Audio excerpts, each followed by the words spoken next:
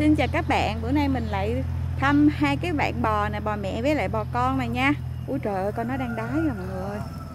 Này Đây đây nó đang đái này, con bò, bò mẹ nó đang đi tiểu. Còn đây là bò con nè. Dễ thương không? Rất là dễ thương luôn nha. Mới có một tuần mà nhìn con bò con này nó lớn rồi đó, thấy không? Đó, các bạn nhìn thấy nó ú nu ú nu Trời ơi, cái người của nó run run run kìa.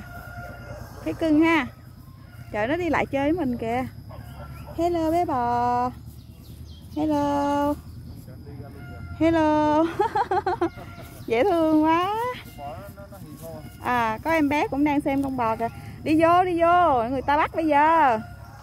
Đi vô Đi vô. Trời ơi, nó đi lung tung. Nó ăn cỏ. Đây, nó đang ăn cỏ là dễ thương ha. Hello, bò. Há bò mẹ, nó đi riêng, bò con đi riêng luôn rồi. Thấy không?